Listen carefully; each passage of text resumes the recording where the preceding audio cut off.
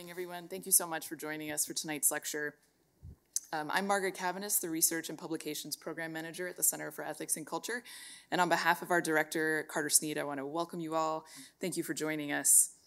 Um, before I introduce tonight's speaker, I'd just like to say a word about the work we do at the Center for Ethics and Culture and our mission to promote the Catholic moral and intellectual tradition both here at Notre Dame and in the public square. The center seeks to engage the most pressing and complex questions of ethics, culture, and public policy today through teaching, research, and dialogue, and particularly through events such as this evening's lecture, which will explore the emerging ethical crises surrounding euthanasia both in Europe and here in the United States. We're grateful to Dr. Komrad for joining us this evening to share his expertise and insight. The center would also like to thank Professor Michael Waddell, the Aquinas Chair in Philosophy at St. Mary's College, for his collaboration and co-sponsorship of this evening's event. And just a quick word about the format. After Dr. Komrad finishes his remarks, we'll have some time for questions. We have a handheld mic that I'll pass around, which will just help for the recording if you wouldn't mind waiting for that before asking your question. And then afterwards, we'll have a reception in the atrium where you're all welcome to join us and continue the conversation. Um, and now it's my pleasure to introduce tonight's guest. Dr. Mark Komrad is the ethicist in residence for the Sheppard Pratt Health Systems, where he chaired the ethics committee for over 20 years.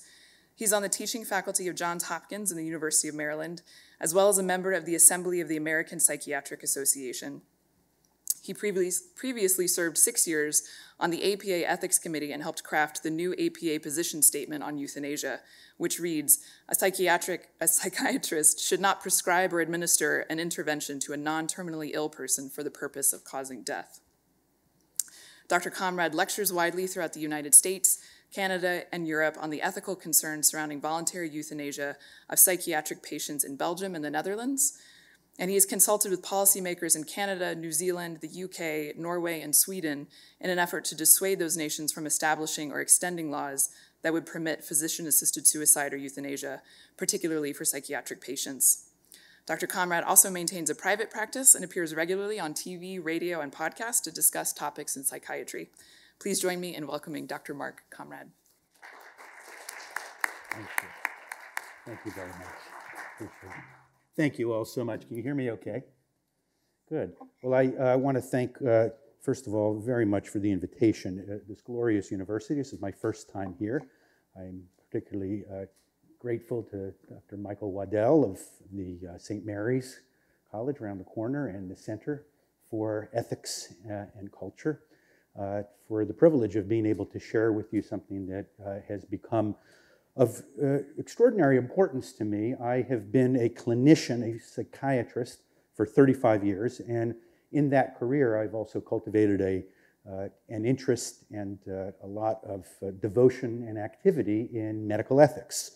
and frankly, 35 years of being an ethicist and a practicing clinician I feel uh, of all the issues that I've confronted of uh, ethical import in the domain of uh, psychiatry and behavioral health, uh, I feel like uh, the one that I'm going to speak to you about tonight is probably the most significant.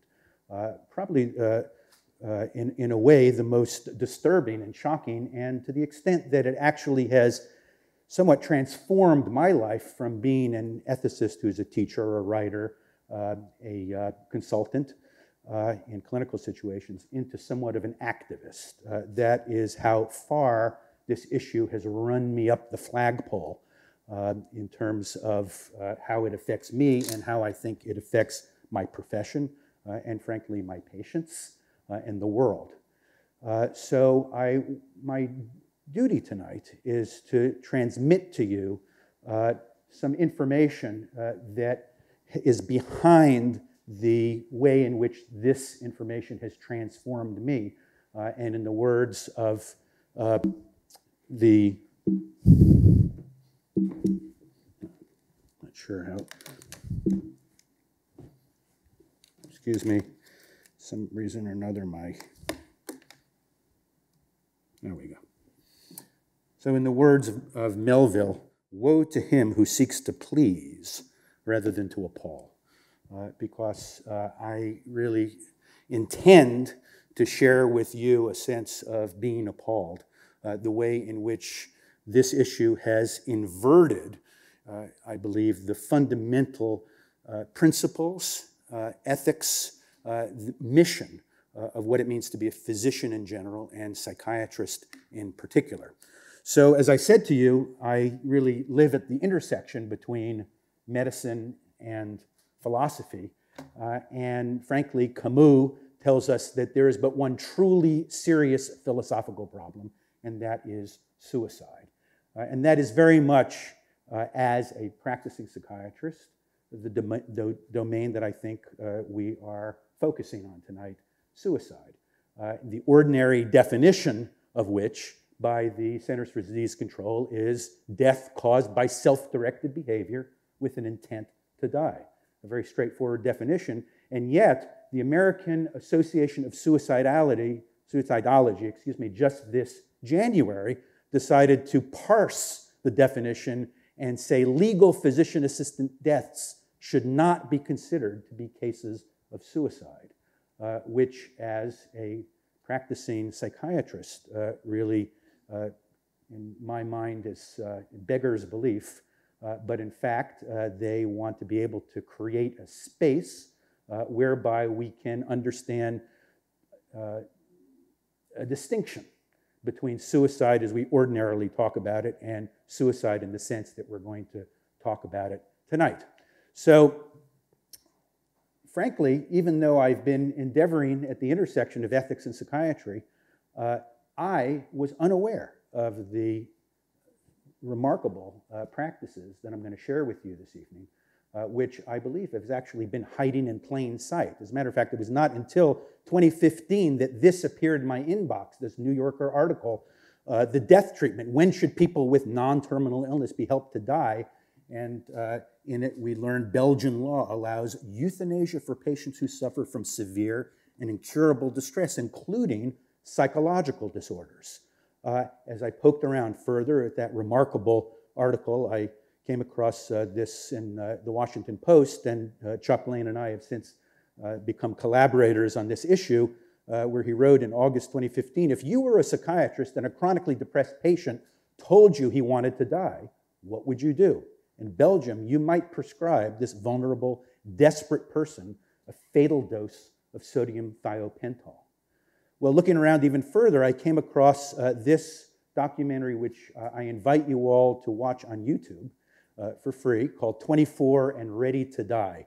Uh, and I've cobbled together a three minute montage from this documentary where we follow this young woman, 24 year old Emily, uh, as she goes through the process of applying for and being granted uh, the right to a euthanasia procedure for her uh, chronic psychiatric disorder. So let's hear from Emily. And I'm from Belgium. And this documentary is about my request for euthanasia because of mental suffering. And when you see this documentary, I'm I won't be here anymore. When it comes to doctor assisted dying, Belgium has the most liberal laws in the world. This is Emily's story. From the outside, she's a physically healthy young woman with a loving family and friends. It appears Emily has everything to live for, but she finds her life unbearable. In 2013, there were more than 1,800 doctor assisted deaths in Belgium. While 97% of cases involved people suffering terminal or chronic physical illness, 3% were people suffering psychiatric disorders, the most extreme and controversial form of assisted suicide. Belgium is one of only two countries that allow it. Strict criteria have to be met before doctor assisted death is allowed. Emily's case has to go through dozens of medical professionals and ultimately be signed off by three doctors, one of whom is psychiatrist Dr. Lieve Tienpont. Ik weet niet of dat jij nu op dit moment uh, zit je zelf met vragen die, die je wilt besproken zien. Voor mezelf de laatste weken is de destructiviteit ook weer serieus toegenomen. Emily started her application to end her life nearly two years ago. denk dat de meeste, of om niet te zeggen eigenlijk alle mensen met een euthanasievraag op basis van psychisch lijden, hebben een lang verhaal van psychisch lijden. Dus dat is helemaal verschillend van iemand die een, eh, een acute depressie doet, bijvoorbeeld naar aanleiding van een rouw. Dat is juist de inschatting van de artsen hè, en de drie artsen die met de patiënt bezig zijn. Want binnen psychiatrie, de, de mogelijkheden zijn oneindig. Hè. Medicatie, combinatie van medicatie met ambulante residentiële therapieën kunnen we verder doen. Maar het moeten eerlijke kansen zijn waarvan we echt weten dat het perspectief kan bieden. En bij sommige mensen hebben we die niet, zoals we dat in, in sommige kankersituaties ook niet meer hebben. Is dat ook zo bij psychisch lijden? Soms hebben we niet meer, uh, niks meer te bieden. Apologies for the subtitles. Hopefully you could read them. Uh, we'll hear more from that psychiatrist, Dr. Lieve Tienpont, one of the leaders of psychiatric euthanasia in Belgium, shortly. But uh, spoiler alert, uh, the uh, documentary goes on to follow Emily, and she mugs across the rooftops of Brussels, and she sits and says goodbye to all of her friends and has goodbye parties and so forth. And we follow her right up to the moment that the psychiatrist comes to start the IV uh, injection to kill her. And at the last minute, uh, she decides to relent.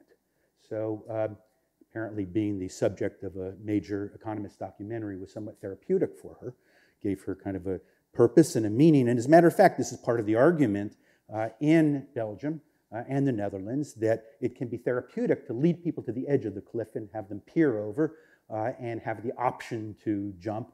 But uh, knowing that that option is there, they can comfortably put it in their back pocket uh, and retreat uh, and be able to distance themselves from chronic suicidal feelings. And that's exactly what happened to Emily, who, as far as I know, has been able to track down, is still alive to this day.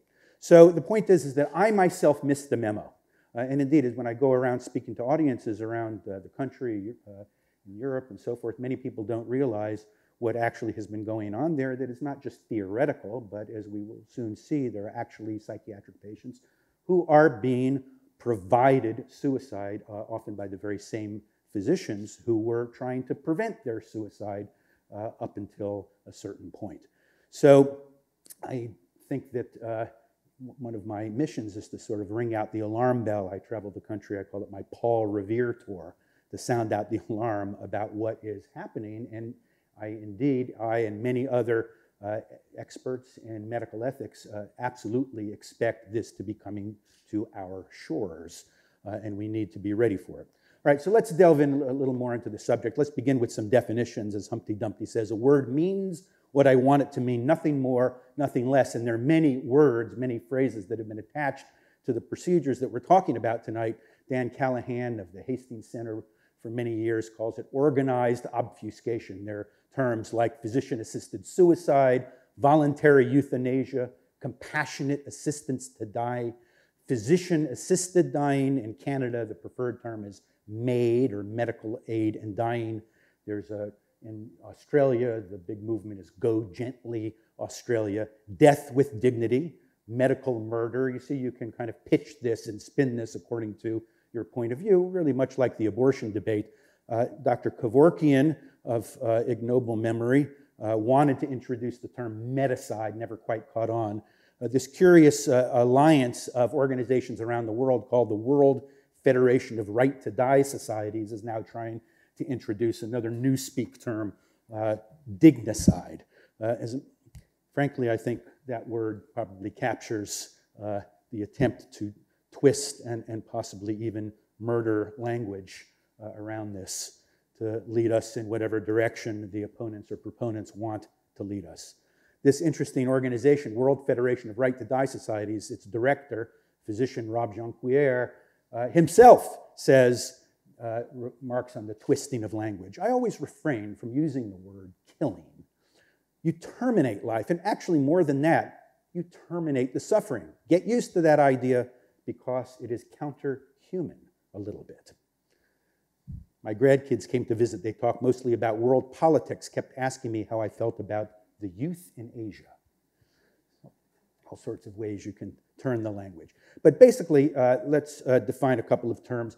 In in terms of increasing moral complexity, uh, the basic level is assisted dying, also called passive euthanasia. This right now is the ethical status quo where we're at, which is uh, the right to refuse treatment or pulling the plug or stepping away and getting out of the way of death. Uh, it may or may not be accompanied, hopefully it would be, with palliative care, uh, the state of the art of which is actually quite advanced, far more advanced than people realize, although not always accessible. So that's uh, assisted dying or passive euthanasia. The second uh, level is called physician assisted suicide. Here, uh, the doctor writes a prescription, uh, typically for barbiturates, that the patient takes to the pharmacy uh, and gets uh, what is called by the, the, proponents a box o' barbs uh, and puts it in the closet to use at the time of his or her own choosing. Of course, assuming that her suicidal granddaughter doesn't discover it and get to it first and takes it uh, with or without monitoring, with or without family coercion. This physician assisted suicide, the jurisdictions that we will soon see in the United States, this is the practice in the United States. However, for the rest of the world, uh, that we'll also be talking about, the most controversial and highest, uh, most complex level is euthanasia. And euthanasia means actively killing a patient uh, characteristically with an IV intravenous, just like in lethal execution in a prison. The doctor starts an IV with a lethal, lethal uh, concoction, pushes the IV, and within minutes, uh, the patient dies by the hands of the physician. So there's no removal of the physician from the process. So we're going to be focusing mostly on the last two uh, for the rest of this talk physician assisted suicide and euthanasia. But basically, the paradigm is the patient is asking or wanting to die, and we in psychiatry use the word suicidal to describe that, uh, and in, th- in that wish asks the physician to create a treatment plan whereby death is administered. Not death is allowed, but that death is administered. And so all of these, uh, uh, uh these latter two approaches really participate in that paradigm. Now let's talk a little bit about the history of this. I find it interesting, maybe even slight, slightly amusing, that the person who coined the term euthanasia was named Comicus. Uh, in ancient Greece, uh, a poet, he actually, euthanasia was simply meant a good death. But it came to mean a good death as provided for and administered by physicians. Now, euthanasia uh, was actually a very common practice in ancient Greece, where uh, the centers of medicine were organized around religion, much like having Catholic hospitals uh, contemporaneously. Uh, it was organized around the worship of the god Asclepius. Uh, and the cults of Asclepius were the uh, healing centers where doctors were trained, patients came for healing. And they were uh, based on their own uh, liturgy and their own texts and mythology. And the core mythology involved Medusa, that was the uh, deity that could turn you to stone if you looked at her. Uh, but the legend was that Athena drew blood from both sides of Medusa's neck. One side was a life giving elixir, the other side was a toxic, deadly poison. And she gave both vials to the god Asclepius. Uh, and that in the Asclepia, uh, where physicians practiced in ancient Greece, uh, they utilized both sides uh, of the power of medicine, the power to heal and save life, and the power to take away life, with one exception. Uh, and that one exception was in the Asclepian of Hippocrates. Uh, and Hippocrates uh, was uh, a very interesting uh, character historically, and his school on the island of Kos, the Hippocratic Asclepian, was unique. It was unique because there, Hippocrates had a much broader sense of what it meant to be a healer and established a kind of covenantal community. That if you wanted to be a physician there, one had to uh, evince certain values, had to embrace certain values. Indeed, beyond that, one had to actually take an oath. Uh, and in that oath, one would profess those values. As a matter of fact, that is the origin and root of the word profession, to profess values and uh, those specific set of values which distinguished the Hippocratic group from the others uh, revolved around certain core concepts. And the most fundamental concept uh, is incorporated now into the Hippocratic Oath with which millennia of physicians have taken, and many still to this day, uh, though it's been modified. But one piece that's never been modified over the ages is this distinctive piece, uh, piece that distinguishes it from the other Asclepia. I will not give a fatal drug to anyone if I am asked, neither will I counsel any man to do so.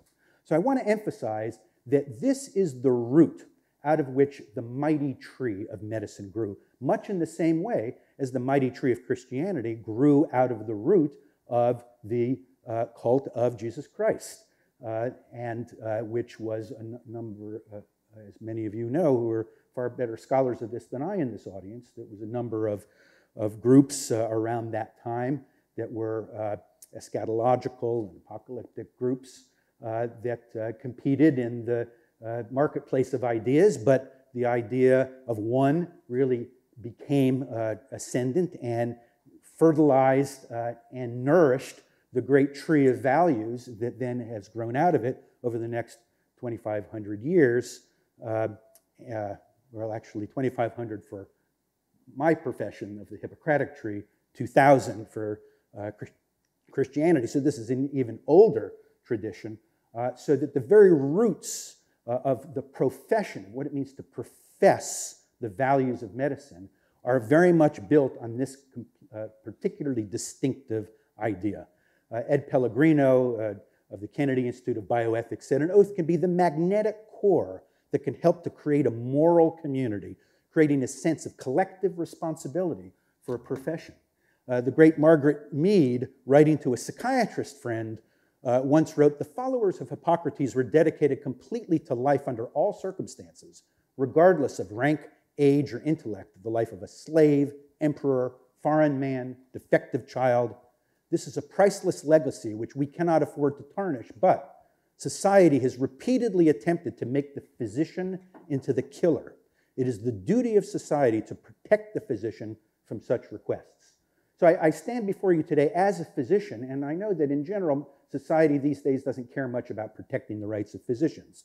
So I, as a medical ethicist, feel that uh, one of my charges is to keep an eye on, or at least to provide some stewardship over what it means to profess in the House of Medicine. What are the values of the covenantal community of medicine? Uh, and as Margaret Mead has said, there have been a number of attempts to assault that value, which uh, my uh, community of medicine through its codes, through its ethics, as I will show you some more contemporary examples, uh, has tried to uh, defend itself uh, against the demands of society.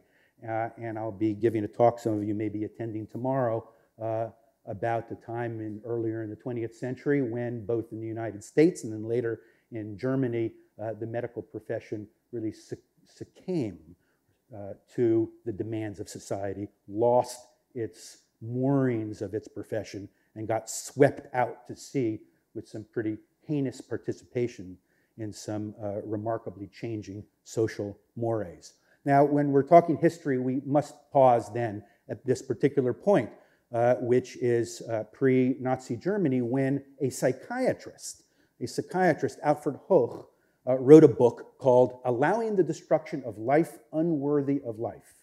Uh, Hoche actually was the very first person to articulate the term death with dignity.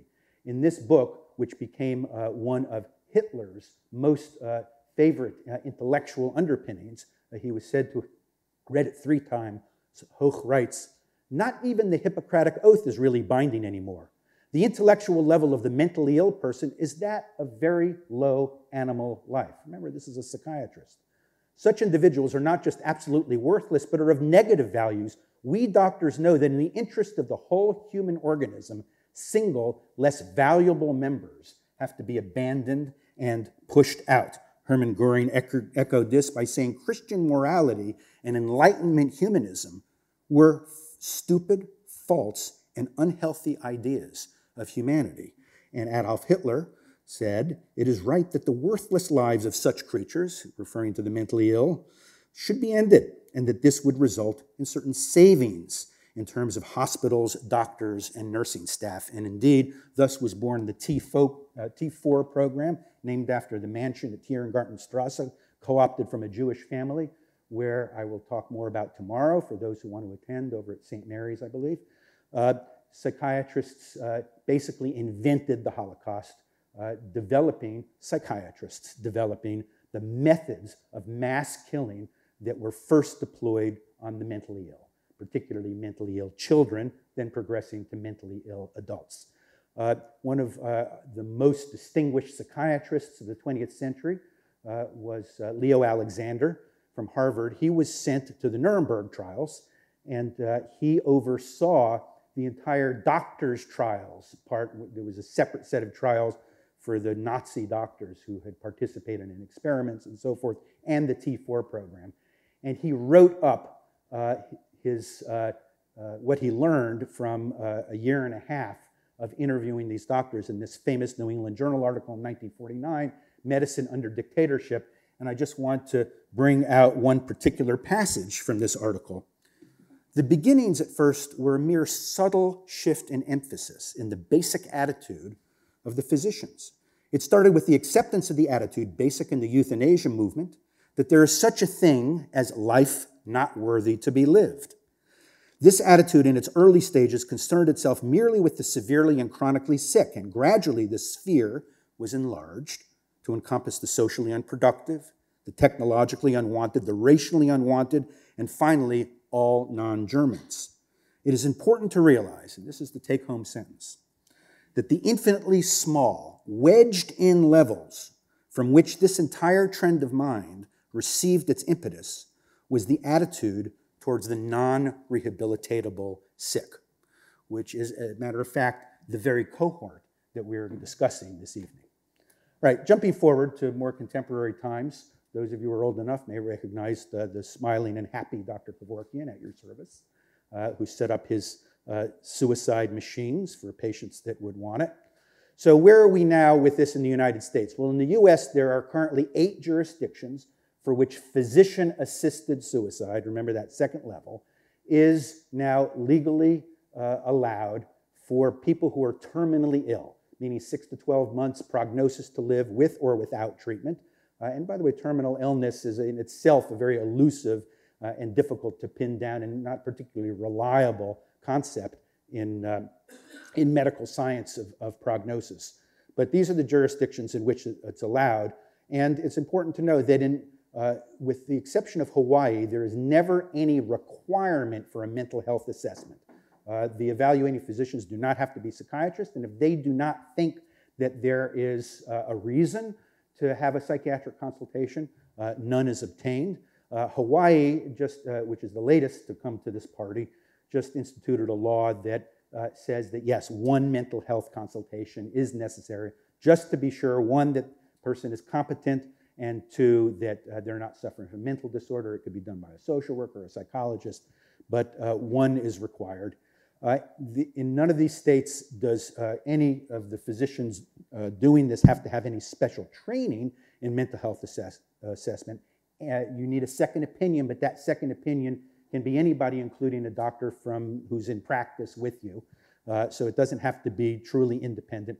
No prior knowledge of a patient is required, so people can set up sort of shops where folks can come and uh, get this approved. So you don't have to have had a long-standing relationship with the doctor. This is a very important part of any law that we're going to look at tonight. Patients, the, the, the, uh, the ethical status quo that patients can refuse treatment, uh, which has really been observed for several decades now, the right to refuse treatment holds in this. So patients can refuse treatments, and none of these laws uh, talk about how the patient becomes terminally ill.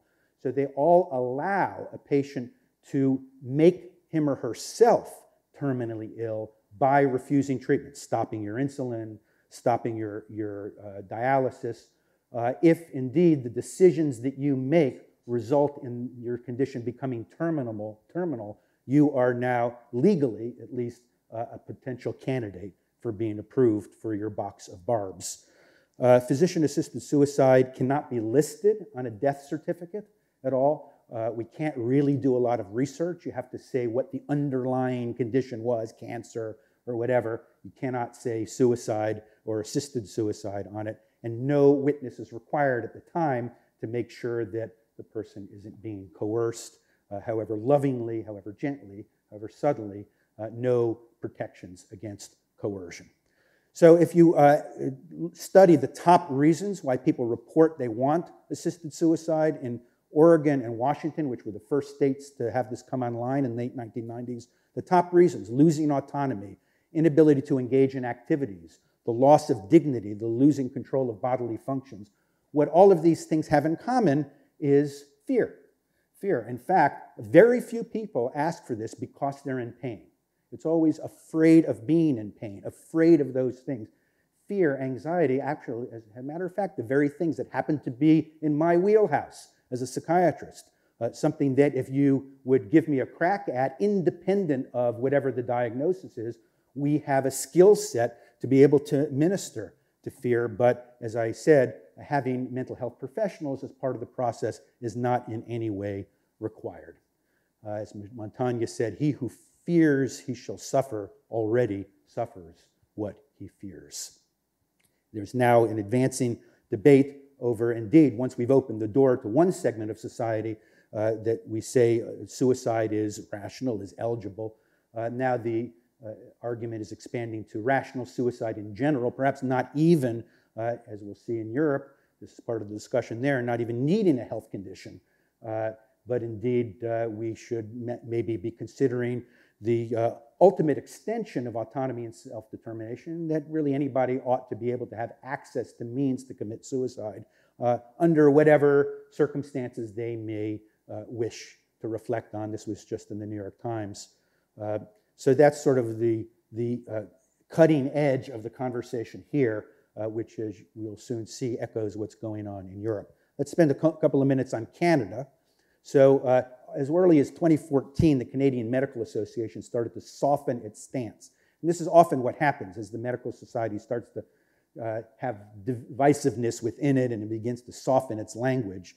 But uh, ultimately, uh, a Supreme Court case in Canada called Carter versus Canada in uh, 20, uh, 2016, which involved a woman with advanced spinal stenosis uh, who was seeking the court's permission to have uh, her doctor kill her, uh, the Supreme Court of Canada decided that it was time to address this problem legislatively, directed the Parliament uh, of Canada to study the law, uh, to study the situation, and come up with some legislation about it. And so in June uh, 2016, the so called C14 law uh, was passed in Canada. And in that law, they uh, now federal law in Canada uh, that uh, people can be eligible for assisted suicide or euthanasia if their conditions are considered uh, irremediable, uh, namely untreatable, and intolerable. And again, this is the, the European model. And uh, the patient's claim that their condition is insufferable is irrefutable. The patient is the ultimate and only expert allowed to weigh in on that criteria. However, the criteria, uh, and, and by the way, the suffering, there are no distinctions made. Uh, again, this is the European model, as we'll see, between physical and mental suffering. So, suffering is suffering is suffering. Uh, but the patient can also refuse certain treatments. Uh, again, that ethical status quo is preserved. So, if a condition is untreatable, that may not simply be the judgment of the medical team, but also the decision of the patient who has said, Look, I, I, understand you have some treatments for me, but I don't want those treatments. I'm not prepared to, to accept those treatments. So, for example, in psychiatry, we have electroconvulsive therapy, which actually is a very, very effective treatment for treatment resistant depression. But if the patient doesn't want it and that's all we have, the patient has now uh, weighed in and participated in the decision that their condition is uh, irremediable. Uh, in Canada, as elsewhere, it's almost exclusively euthanasia, 99% of the time, not the, the bucks or barbs. Uh, now, in Canada, they've invented their own term that is unique in the world. Uh, and the concept is death must be reasonably foreseeable. So it's not terminally ill in this usual definition of six to 12 months. Uh, it just must be reasonably foreseeable, and the statute deliberately avoids defining what that is. So, death natural death in the foreseeable future, there have been many cases euthanized where death is predicted within one year, four years, even six years. Uh, the, uh, it's somewhere there towards the end of life, but is much looser actually than any concept of terminal illness that we have in the United States. Now, because of that death in the foreseeable future concept, uh, it implicitly, this excludes psychiatric patients, but not explicitly. And many advocates are now pushing to allow psychiatric patients to have that under you know, the usual tropes that we have been uh, really getting behind in the mental health community about parity and non discrimination and being able to treat mental disorders the same as physical disorders and so forth. Uh, but, um, and we're expecting at the end of this month a uh, study group from uh, the Canadian Parliament to rule uh, as to whether or not the law should be extended to psychiatric patients uh, and minors. Uh, and those of us who've been watching closely expect those doors to very much open uh, within the next several weeks in Canada. They've been very active. So remember, it started in 2016 and 2017 alone. You can see there's just between the first half and the second half of the year, there's been a 30% increase in euthanasias in Canada, uh, so that uh, there were uh, over 2,600 euthanasias in 2017 there. Uh, it's very popular. Uh, the Canadian Association for Retired People, sort of their equivalent of AARP, their uh, executive vice president actually lost her job because they uh, did not like her neutral. She was rather neutral on euthanasia, uh, and the retired uh, community felt they needed somebody who was much more vociferous and a much stronger advocate and supporter of euthanasia. So she was fired, and now the new president and their new policy are calling for all publicly funded institutions in Canada to provide MAID. Remember, that's a Canadian term, medical assistance in dying. I just want to remind you that, uh, like in the United States, many hospitals uh, are Catholic uh, in Canada. And indeed, the penetrance of the Catholic Church into the hosp- hospital and healthcare community in Canada is far greater than it is in the United States. But they re- many of them receive federal funding as well. So the CARP up there wants those institutions to not necessarily stand on the basis of any kind of religious principles. We'll see in a moment this issue of conscientious objectors. So there are some docs that are really unhappy about this, who are who've tried it, who find it very distressing, who want their names taken off the list of people that will participate in this. However, Canada is now uh, uh, displaying a, a remarkable uh, new theme, which I personally call Euthanasia 2.0. What is Euthanasia 2.0? Okay, now that it's, it's out in the field, the horse is out of the barn, now the issue becomes what do you do with conscientious objectors, with physicians who don't want to participate? Well, in Ontario, uh, they have decided both ethically and legally uh, that you must, at some level, be part of at least the referral chain, even if you, as a physician, are not willing to administer euthanasia your, uh, yourself. So the College of Physicians and Surgeons say that an effective referral must be provided. In other words, if you don't provide an effective referral, uh, at least to somebody that might be willing to consider it, you are being an unethical physician. Uh, in fact, the president of the Saskatchewan College of Physicians and Surgeons said if doctors have conscientious, uh, conscientious objections, maybe they shouldn't be doctors. Uh, the uh, courts in Ontario have ruled that conscience rights are not going to be legally permissible. That legally now a physician in Ontario must somehow or another, you, could, you cannot abandon your patient. If your patient comes to you and wants to have uh, euthanasia uh, and you're not willing to do that, you have to provide some way of helping the person find their way into the system uh, where they can. So it is neither ethical nor legal to be a conscientious objector in the province of Ontario. Here uh, two scholars, of uh, oncologist and an ethicist, uh, who basically maintain that conscientious objection is not a principled stance, uh, it's just a disguise for squeamishness. Uh, they say most objections are more emotional. We need to change the medical community's mindset through education. Conscientious objection is a loophole to justify refusal. Uh, so we need to start gearing up to reformat uh, the minds of young physicians to try to teach them to get over their squeamishness about killing their patients. So it's really a remarkable uh, uh, trend that's going on in Canada.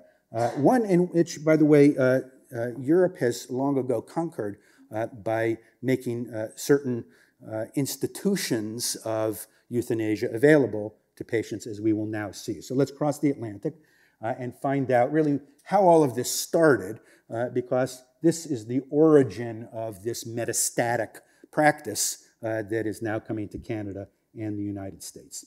So in 2002, the Benelux countries, Netherlands, Belgium, and Luxembourg, all struck similar laws. And those laws basically made uh, euthanasia, as well as assisted suicide, but it's, nobody really wants assisted suicide. It's euthanasia 99% of the time, made that a legal practice. Uh, it removed any distinctions between terminal and non terminal conditions, and it removed, effaced any of the distinctions between physical and mental suffering. So, as a result, once non terminal mental suffering became a potential domain in which euthanasia could actually be practiced, uh, that's when psych patients, psychiatric patients, began to get in line. So the criteria there, and you saw this reflected in the Canadian law, is merely that the condition has to be unbearable or insufferable. Remember, the patient decides, and untreatable. Uh, and again, the patient may refuse treatment. So the patient gets a vote in the untreatable dimension as well as in the unbearable dimension. Uh, these countries do allow advance directives uh, for dementia. There are a couple of limitations on that. Uh, that is getting them into trouble this very week, as we'll get to. Uh, there's no explicit prohibition of uh, tourism for euthanasia. You don't have to necessarily be a citizen of the country to have it. And uh, most, uh, most of it is euthanasia, occasional assisted suicide, but that's done by appointment usually so that the physician watches you as you take the medication. So that all has been unfolding since 2002. Now let's look at some of the data that we've been able to get out of these countries, starting with the Netherlands. So in the Netherlands, uh, there's really been quite a remarkable increase uh, since these laws came online, about a 350% increase. Uh, next year, the numbers will uh, exceed 7,000 people uh, who have been killed by euthanasia. Uh, in 2017, between four and five out of 100 human beings who die in the Netherlands are dying at the hands of a physician, are dying by lethal injection. So between 4, 4.6% of all deaths of human beings are being produced by their doctors uh, in 2017. Uh, according to New England Journal, as many as 23% may be unreported, so this may be a significant, uh, significantly low number. Now, if we look at just psychiatric conditions, uh, they only represent uh, a little over 1% of all those people are psych patients, but you see that they're growing. In 2017, there were 83 psychiatric patients. Now, I've uh, separated out here traditional psychiatric illnesses, schizophrenia, bipolar disorder, post traumatic stress disorder, and other things from dementia, which frankly I and most psychiatrists consider one of our illnesses as well. It's in our DSM, it's part of neuropsychiatry. So uh, just breaking out dementia separately, if you look at dementia only, uh, you can see the numbers are uh, over twice as high as for other psychiatric disorders. So taken all together, we're talking about uh, several hundred psychiatric uh, patients that were euthanized uh, on request between 2016 and 2017 in the Netherlands. So in the Netherlands, there are two paths available. One path is working through your personal physician. Another path is a special clinic called an end of life clinic. Both paths lead to your planned death. Uh, and the end of life clinic, known as the Levenseinde clinics, uh, are available uh, especially used by people whose personal physician doesn't want to do it. So, this is how they've taken care of conscientious objection in the Netherlands. Uh, if you don't want to do it, your patient can knock on the door of the Levenseinde clinic. Uh, Now let's take a look at uh, some of the statistics out of this. First, the path via your own doctor. So here's one study of 66 psychiatric patients over these three years who were euthanized by their own uh, physician, or at least their own physician was approving of it. Uh, it just shows you some array of the diagnoses. Uh, not surprisingly, most of them had mood disorders, some anxiety, PTSD, psychosis. There were others. Uh, however, half of them had personality disorders. Uh, these are problems of traits uh, as opposed to states.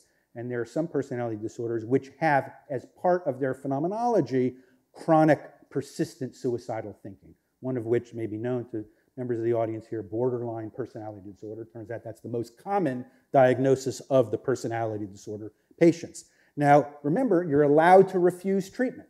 So over half of patients, of these 66 patients, had refused one or more recommended treatments.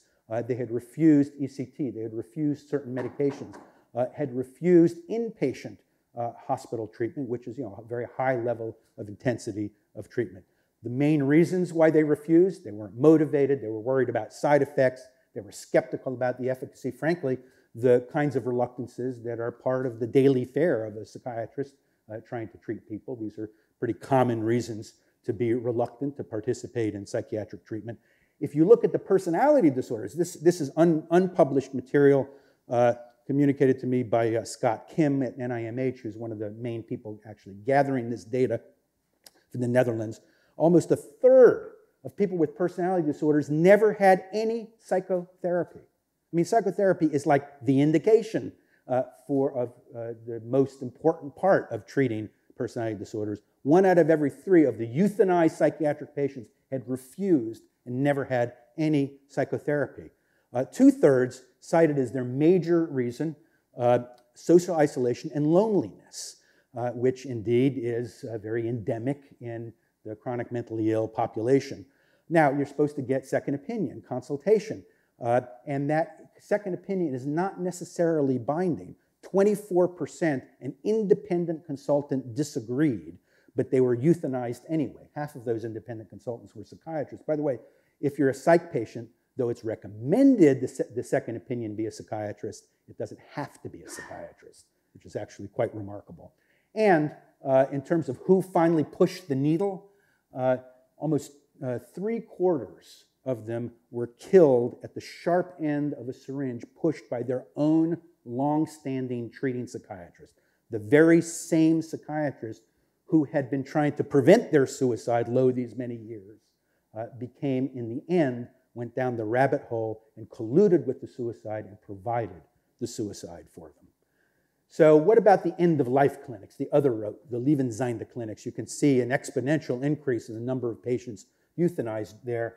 Uh, it's actually one clinic that has about 60 traveling teams that uh, go out to the countryside in trailers uh, or rent uh, office space temporarily. The typical evaluation in the Lebensende clinic, about one to one and a half hour, hours. Patients are typically new to the evaluating physician. These aren't the long-standing patients like we saw uh, in the other cohort. Uh, and uh, they've really taken off. You can see the percent of all euthanasias. Uh, it's up to uh, last year, uh, over 11% are taking place in these clinics. And however, it's a very popular place for psych patients to go. I only have the data for 2016, but 77% of all psych patients got their euthanasia in one of these end-of-life clinics in the Netherlands. Uh, and uh, here's one study uh, of, from the year 2012 to 2013 at a clinic. There were 645 requests. Of those, 121 were psych patients. Uh, and of those 121, uh, six were granted their euthanasia, half of them sent back to their own psychiatrist who was uh, ready to, uh, to provide that service. So this is about 5% of, of psych patients were approved. I want you to remember that number because we're going to come back to that when we look at a slide from Belgium. So uh, the medical societies have really gotten on board uh, with this. The Dutch Psychiatric Association and the Dutch Medical Association, rather than objecting, uh, they've kind of fallen into line. That's the law of the land now. They've both published pamphlets for their members about how to uh, comport with the law and how to do the evaluations and how to do the procedures and how to make sure, you know, they stay within the limits of the guidelines. So uh, they've been uh, very much on board. They haven't in, in any way raised any specific objections. Uh, however, uh, some of that is changing uh, as especially the psychiatric euthanasias begin to accelerate. So in 2011, they asked physicians uh, in the Netherlands, would euthanasia for psych patients be inconceivable to you? So 14% in 2011 said, yeah, no, no, I would never, we would never do a psych, uh, psych patient. However, by 2013, 60% said, oh, no, no, no, no, no psych patients. So the, the stomach for euthanizing psych patients is changing there, and as a result, the Medical Society had to issue a new pamphlet saying, just because we can doesn't mean we should. So it goes further. Both the Minister of Health and the Minister of Justice uh, are now pushing for demedicalizing the criteria uh, so that you don't have to be chronically ill, non terminally ill, terminally ill, forget about illness. Uh, that now we've opened the door, let's extend it to simply those who say they're tired of living or who have completed life. As a matter of fact, the head of one of their leading political parties, the D66 party, Alexander Pechtold, said, We have to take it step by step. In 2002, we passed the euthanasia law for unbearable suffering. We can now take the next step for our civilization. And uh, that party is one of the big proponents behind uh, introducing a completed life criterion for medical euthanasia. Uh, and then, even still, uh, there are calls now for an over the counter suicide pill to take it out of the House of Medicine just to allow people to have access to something with which they can kill themselves. And frankly, uh, as a physician, nourished in the root of that mighty tree that is grounded in the Hippocratic tradition, uh, I'm actually one nanogram more comfortable with this. Uh, not that I want this as public policy, but uh, to get it out of a doctor's office uh, actually uh, has, has a certain appeal to it. as a matter of fact, this is being pushed by one of their retired Supreme Court justices, Hugues Drion, who wrote a famous essay, and hence this approach is called the pill of Drion. And you can see the growth. I don't have any uh, more recent data, but I'm sure it's much higher than this from uh, my colleagues, from what my colleagues in the Netherlands are telling me. It's uh, very popular to uh, develop the pill of Drion. Uh, as a matter of fact, there's a whole grassroots organization called the Dutch Voluntary Euthanasia Society, over a quarter of a million people, that is really behind trying to expand the criteria for euthanasia in the Netherlands. As a matter of fact, they put on every year a week of euthanasia, uh, a, set, a set of seminars. Uh, it's going to be in February. It was, was, in February this year. It's usually in February. Uh, it, by the way, it appeals to young people. They're uh, mostly speaking to people under age 40 to try to get them on board with political advocacy for expanding this uh, in the Netherlands, uh, for expanding the criteria to completed life, and uh, I have a colleague who made a documentary film that I've been involved in who went to this week of euthanasia, and he uh, found the majority of attendees were young psychiatric patients uh, who, even though they can actually access this field, it's become much too restrictive for psychiatric patients. And what's interesting is they have some, some remarkable things. There's a seminar, for example, on the virtue opportunity of organ donation to turn your life of adversity, uh, your life that feels uh, as if it's failed into an opportunity to give life for somebody new. And of course, who are the most eligible organ donors? Young psychiatric patients who are otherwise physically healthy. They are prime organ donation, donators, so donors. So you can see the, the incredible sort of coercive environment milieu uh, in which these organizations uh, have been uh, attracting and luring in young people. See on the top of their website, do you have a death wish? Uh, you can click on that and you can learn more about of euthanasia.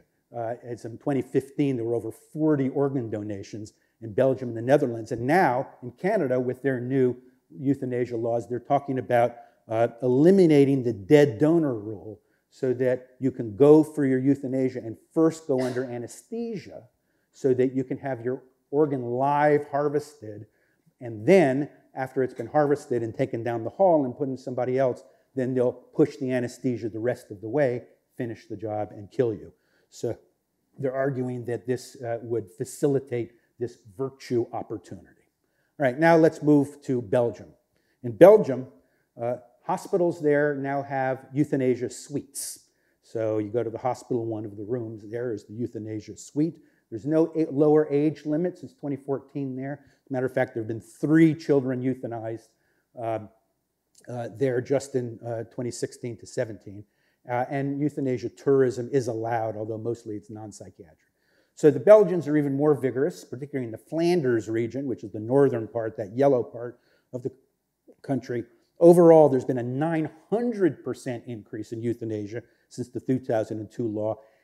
Between 2015 and 2016 alone, there was a 14% increase in euthanasias. So about 2% of all Belgians die at the hands of a physician, but in the Flanders regions, over 6% of Belgians die at the hands of a physician. And there, uh, an estimated, according to this New England Journal article, about 40% of euthanasias are estimated to be unreported. If you look at just psychiatric patients, you see they're really taking off. Uh, again, from 2015 to 16, there was a 22% increase in psychiatric patients, but overall, about the same numbers that you're seeing in the Netherlands most of them tend to be women. Most of them have mood disorders. Uh, as a matter of fact, if you look at this one study uh, between 2012 and 2015, here are the common psych- the diagnoses of the 124 psych patients in those years that were euthanized. And you see depression, dementia, and as we talked about before, borderline personality disorders are the most common diagnoses there. But a little bit more detail. You remember Dr. Lieve Tienpont in, from the uh, film clip that I showed you. She is sort of the psychiatric Kevorkian uh, of the Netherlands. She uh, does, uh, that's wrong, it's not 70%. She does about 40% uh, of the euthanasias. I need to correct that. I am a pioneer, so I am loved and hated. She wrote this book, Free Me, on euthanasia and psychological suffering. So she is the chief exponent, the chief uh, exponent, and if I may use the pun, executioner uh, of this idea. Uh, and interestingly, she seems to look a lot like Jack Kevorkian. There's some kind of a physiognomy associated with people that are pursuing this interest. So she published a, a paper on her first 100 patients.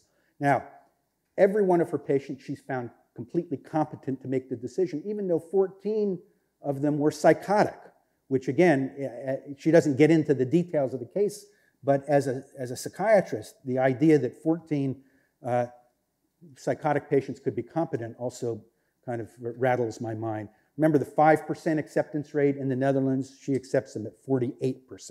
Uh, and 73% of those went on to be euthanized by the time this paper was written. And here are some of the diagnoses. Most commonly, of course, major depression, but personality disorder. There it is again. Uh, these pesky people that are so difficult to live with, uh, that are so difficult to treat, uh, that uh, you know, there are all sorts of ambivalences about both in the treatment team and in their families. But look at some of the others. Autistic spectrum disorders was number three. Number three, the third most common diagnosis. PTSD, complicated grief, ADHD, uh, bipolar disorder.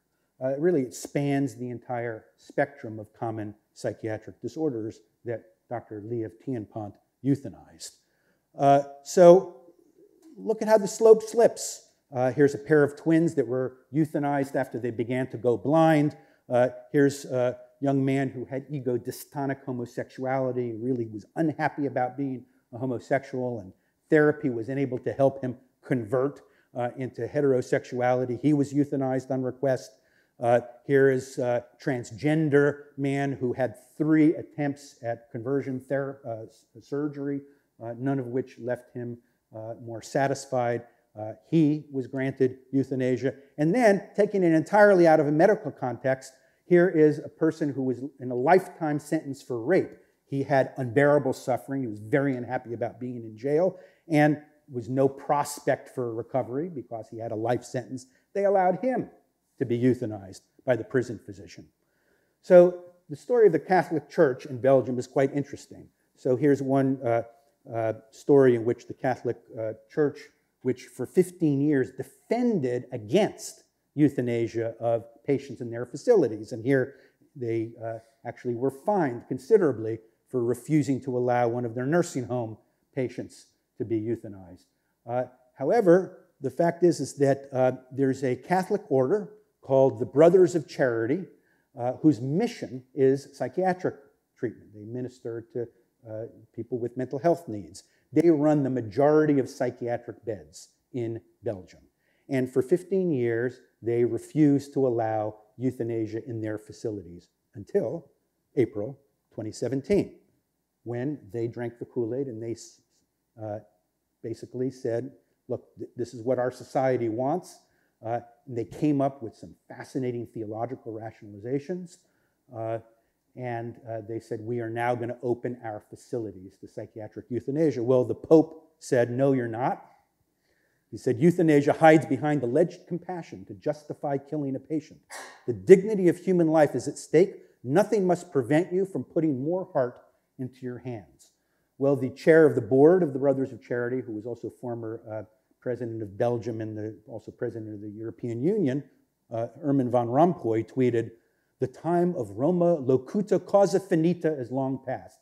I probably don't need to translate that for this audience, but in case you don't know, the old phrase, Rome has spoken, end of conversation, we're not in that time anymore.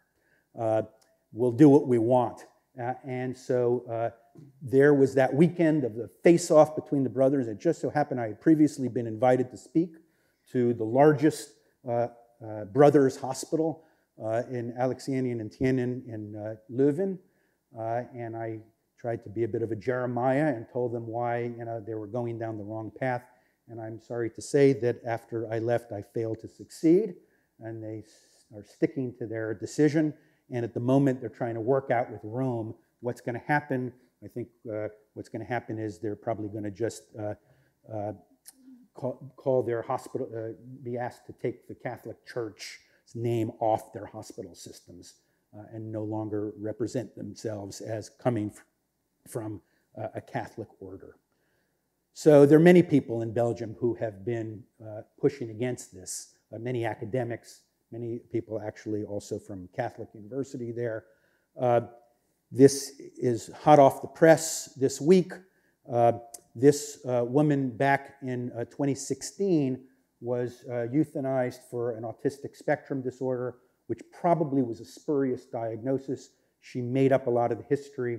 Uh, their family uh, was kind of recruited into it. Her father was asked to hold the needle in place while she was being killed by Dr. Tienpont. And the sisters have uh, been very, very upset and angry and feel like it was not an appropriate euthanasia. And so, uh, as of uh, last week, uh, they've opened a criminal investigation into Dr. Tienpont regarding this one case. And it's interesting because just a couple of weeks earlier, there was the first prosecution uh, is being pursued of uh, a case in the Netherlands about an elderly dementia patient who had written an advance directive, but when it came time to euthanize her, she refused, she struggled, they had to spike her coffee to give her a sedative, it didn't work, so the family and the doctor had to hold her down as she struggled as they tried to, to inject the needle. They were successful with it, they killed her, but uh, in fact, uh, it was such a terrible scene that uh, it is now being uh, the very first case in the history of the Netherlands to be investigated for possible prosecution. So, both in Belgium and the Netherlands, in this very month, we're seeing the opening of the first cases. Switzerland actually uh, also, I'm not going to spend much time on Switzerland, just to let you know that they've had euthanasia medical tourism since 1992. Uh, uh, and in fact, uh, this is from the Dignitas organization that runs a lot of these clinics in Belgium. Uh, and this is their guidelines for persons affected by a psychiatric disorder, where they say it's a guaranteed human right that the Swiss federal court has granted the mentally ill the right just like anyone else. And uh, just yesterday, I heard from two colleagues on the same day about a patient who was trying to knock on their door to get an evaluation authorizing them as having an untreatable condition so that they could go and be a euthanasia tourist in Switzerland. So here is how the slope slips, ladies and gentlemen. It starts in every country with the non, for the terminally ill, but it always quickly precesses to the non terminal. Uh, the distinctions between physical and mental suffering are removed. Children are then allowed. Advanced directives are then allowed. Then mandated referrals by conscientious objectors. With psychiatric patients, it begins with the major mental illnesses, and then it progresses to the more minor mental illnesses like uh, discomfort with your sexuality, or alcoholism, or tinnitus, uh, and uh, uncomfortable lifestyles. Then prisoners with life sentences. Then it progresses uh, for data that I didn't have time to show you tonight to proxy consent for those who are not competent to consent, who have their guardians consent for them. Then, if you can't find the guardian or family members, the doctors themselves decide uh, that that life is not worth living, so they administer euthanasia or mercy killing. Then it progresses to completed life and tired of living. Uh, then the pill of Drion, the over-the-counter suicide pill, pill, and talk of rational suicide. Then suicide tourism, and finally the Sarco. What's the Sarco, you may ask? Stand by, I'll show you the Sarco shortly. So just touching uh, and wrapping up about the ethics of this. The way I see it, unethical ethics are better than no ethics at all. The fact is, is that major world medical associations stand against this. Uh, the American Medical Association says that any of these practices are fundamentally incompatible with the role of a physician as healers. That was reaffirmed twice now in the last six months by the AMA Ethics Committee, who said, who was being challenged by some of their members who are living in states where this is legal. The AMA Ethics Committee said, you know, we've studied this, we've had hearings on this, we've uh, really given this a lot of thought. We do not think that this language should change. The World Medical Association says it's unethical and should be condemned. Uh, and this whole interesting side story there. The World Psychiatric Association is a little more wishy washy. Well, a psychiatrist should be careful. The patient might be depressed. The views of the patient might be affected by their mental disorder. So, you know, just be careful. So, uh, we at the uh, American Psychiatric Association felt that something stronger was needed. Now, the American Psychiatric Association stands with the American Medical Association uh, in saying that all forms of assisted suicide and euthanasia are not compatible with the fundamental ethos of being a physician. But we felt we needed an additional special statement something to fire a shot across the Atlantic to land in Netherlands and Belgium. And so I was very instrumental in trying to craft this language, thread the needle of acceptable language, uh, and get it passed and became the official policy of the American Psychiatric Association December of 2016, saying that a psychiatrist should not prescribe or administer any intervention to a non terminally ill person for the purpose of causing death. So this is now the ethics code uh, of the psychiatric profession. Uh, and in that sense, what's going on in Benelux is not considered ethical. So what, what are the potential arguments that are uh, in favor of this? Uh, you know, the, the fundamental arguments really are argued from the position of justice, of parity, which is, you know, that one of our most sacred tropes in mental health, that we shouldn't be treating the mentally ill any different from the physically ill. That mental suffering and physical suffering are really indistinguishable. Uh, that the competence of psychiatric patients could be, at least uh, potentially, the same as medical patients. That the usual standards of competence that, you know, to refuse surgery and things like that should apply. We, nobody's explored the outer limits of competence when it comes to these kinds of decisions. Uh, that you can't exclude any class of people, especially psych patients, once you set up a right. And in fact, excluding psych patients is stigmatizing. And the argument goes that passive euthanasia and active euthanasia are morally equivalent. Getting out of the way of death is really no different, say the proponents, than administering death. Uh, and that uh, obviously autonomy and self determination are the highest values, and that physicians are dedicated to beneficence, which is doing the right thing on behalf of the patients, not themselves, and sometimes that is means relieving pain. And it may be necessary to actually kill the experiencer of pain is the only way to relieve pain. That uh, this is a right, and once you have a right, then somebody has a duty. And if it's a patient's right to have this, that means, ergo, it's the physician's duty uh, to provide it. Uh, an argument which we do not recognize here in the United States that there exists something called futility in psychiatric, that, that rather than having problems accessing treatment, uh, paying for treatment, uh, getting good mental health care, uh, that the supposition is no, no, there actually exist cases where, that we can't do anything about. That's very controversial. In some cases, the idea is suicide is inevitable, so they need a safer, more certain alternative to traditional suicide. And then, in fact, doing it this way, you can include the family. They won't be, they won't be so shocked. It'll be safe. It'll be certain. Nobody will, you know, misfire a gun and be left, you know, paralyzed for the rest of their life.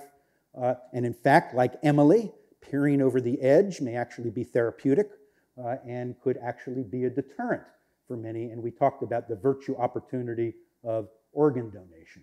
But in point of fact, uh, you know, there, there are very strong ethical arguments against this. You know, in Belgium and the Netherlands, they've really been experimenting with, uh, you know, the extreme uh, uh deployment of autonomy and legalizing marijuana, prostitution, now euthanasia. You know, they did the first two many, many years ago. Uh, William Lemons and Art Caplan, the great American bioethicist, talk about the fetishizing of choice. Uh, and uh, one of the prominent uh, psychiatric ethicists in the Netherlands feels that autonomy has derailed. Dan Sulmasy of the Hastings Center says, look, autonomy is a very thin reed on which to rest the massive weight of legalized medical killing. Uh, these other authors, uh, bioethicists, the preeminence of autonomy as an ethical principle in the United States can sometimes lead healthcare providers to disregard other moral considerations and common sense when making clinical decisions. Because the fact of the matter is, it's a kind of pseudo autonomy. It appears to give the patient the autonomous choice, when in point of fact, ultimately it's the physician who decides, right? The doctor who decides really just how unbearable is your illness. You know, I get to decide patient A, I don't think they, they can bear it some more. Patient B can't bear it. I also get to decide uh, what, what claims are plausible. In, in psychiatry, patients refuse treatment all the time, and sometimes we actually override the refusal to, uh, and treat them involuntarily. So I get to decide. Ultimately, I'm the gatekeeper. So really, it's a kind of a false autonomy. Uh, indeed, the entire issue of the role of autonomy in mental disorders is a very controversial one. Many, many books that have been written about the way in which mental conditions might actually take an edge off, if not completely undermine autonomy under certain circumstances. There are many clinical considerations. To know what a prognosis of a condition is, you have to know what the diagnosis is. We're not very good at reliable diagnoses.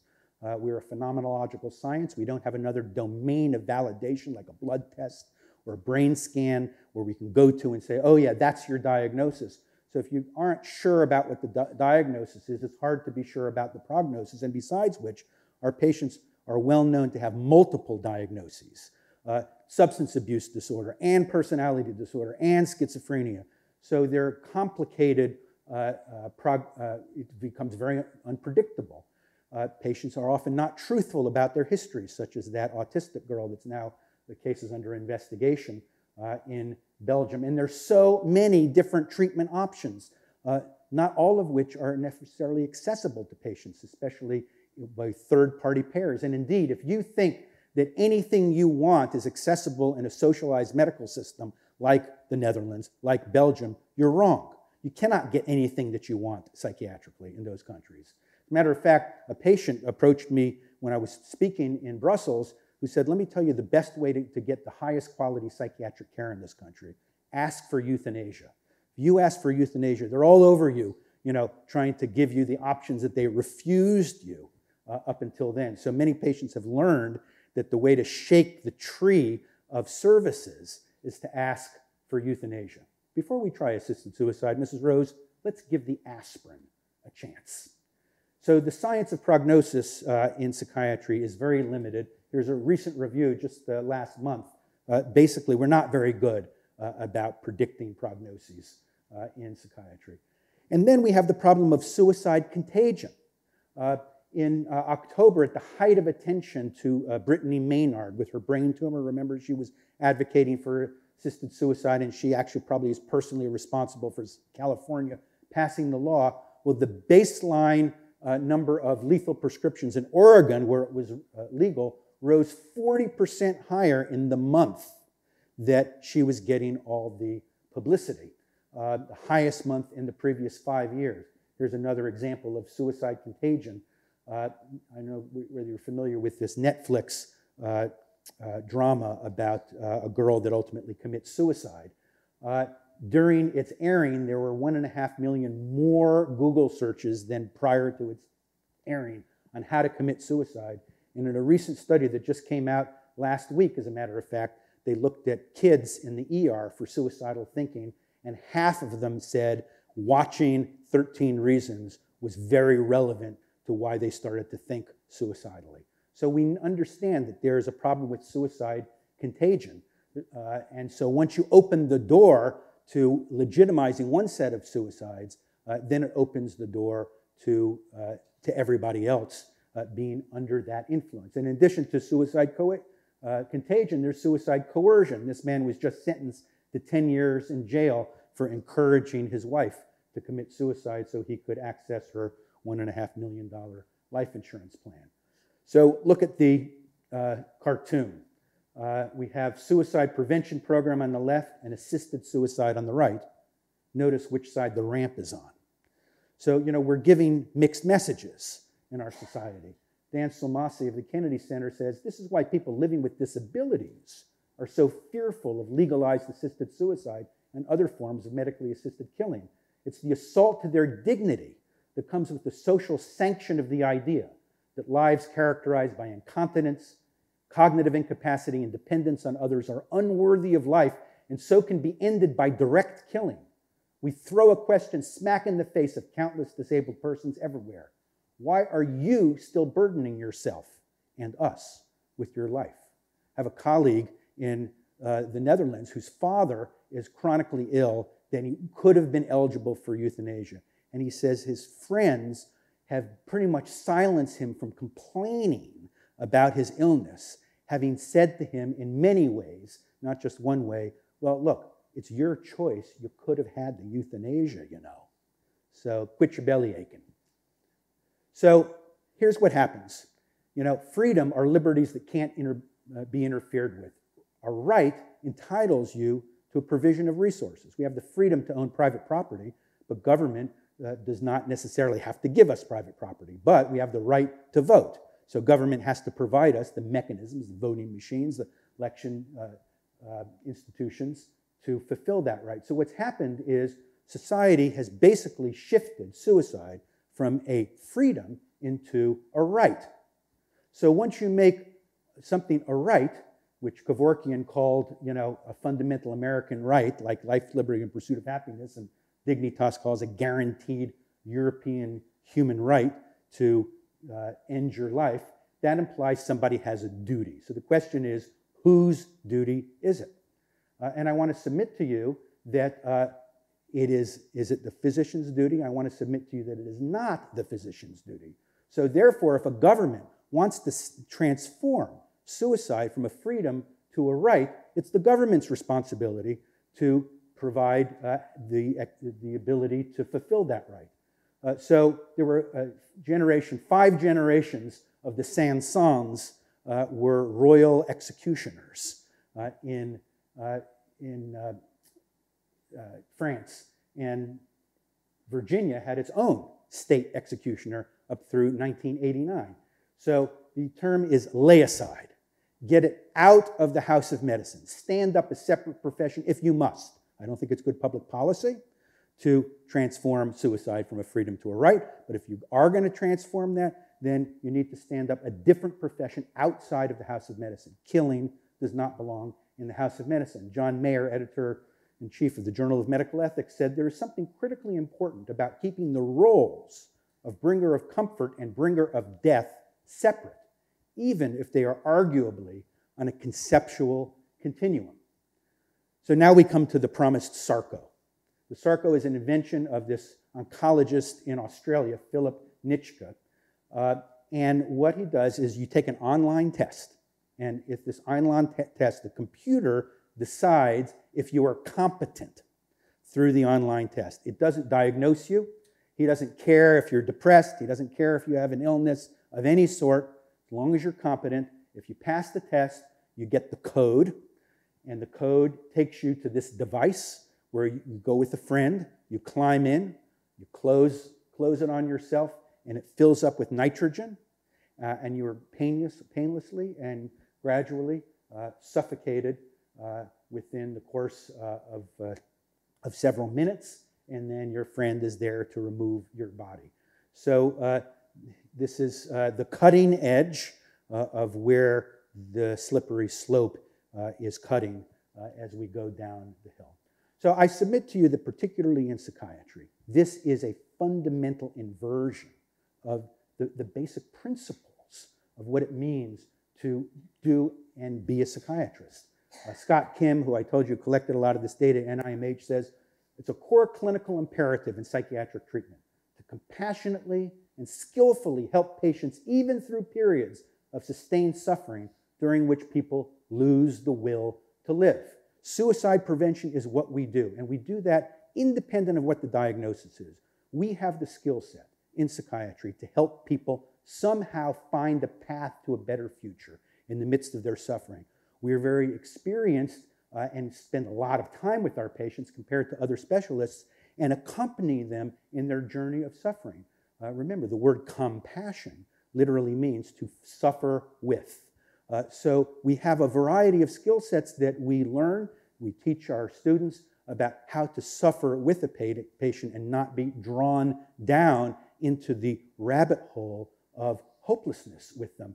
Uh, we try to mitigate suffering where we can, utilizing state of the art treatments.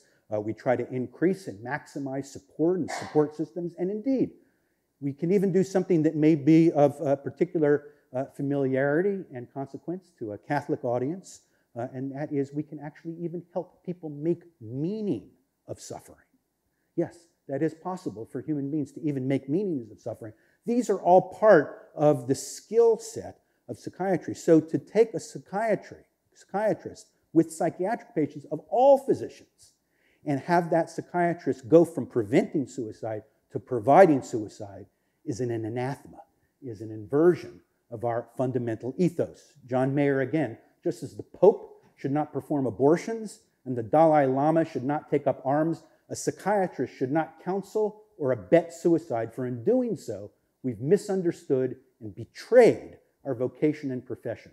Validation of suicide or assisted suicide by psychiatrists is therapeutic and professional hypocrisy. C.S. Lewis said, We all want progress, but if you're on the wrong road, progress means doing an about turn and walking back to the right road. In that case, the man who turns back soonest is the most progressive. Uh, and I, I, think that you know we, we are indeed on the wrong road. As John Donne famously wrote in his poem, Each man's death diminishes me, for I am involved in mankind. Therefore, send not to know for whom the bell tolls, it tolls for thee. Uh, and indeed, I think it's tolling for the potential death of psychiatric ethics uh, as we know it as we go down this pathway. Paul McHugh, who addressed uh, this center several years ago, my mentor, former chairman of psychiatry at Hopkins, uh, one of my more revered teachers, who wrote uh, very vociferously about Kevorkian back in the Kevorkian days, uh, writes Patients are seduced by isolating them, sustaining their despairs, revoking alternatives, stressing examples of others choosing to die and sweetening the deadly poison by speaking of death with dignity. If even psychiatrists succumb to this complicity with death, what can be expected of the lay public? I leave you with the words of Winston Churchill never give up, never give up, never, never, never, never, especially if you're a healthcare professional. Thank you.